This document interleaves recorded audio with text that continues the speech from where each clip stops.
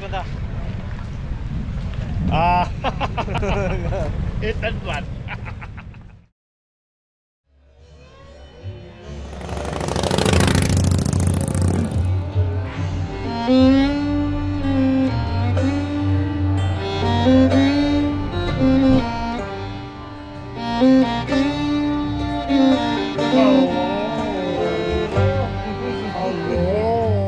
Hello, let's go!